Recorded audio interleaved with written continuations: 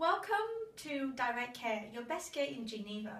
Today we are explaining how to support a sling if you don't have a professional equipment. So very frequently, I'm sure you have scarf at home.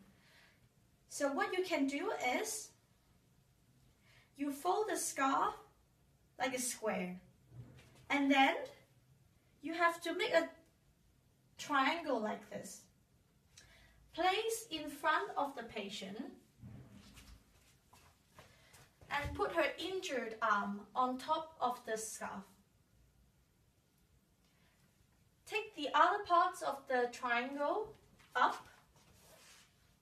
So now you can you can make a knot on top of it. Make sure it's not too tight and it's 90 angle degree.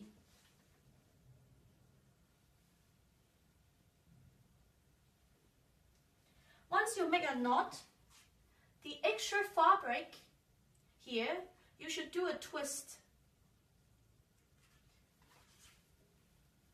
You do a twist, so make sure it doesn't move. And you just tuck it in.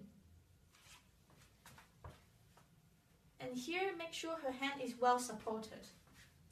Yeah.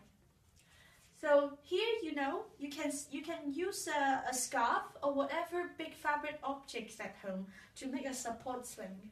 Thank you for watching Direct Care.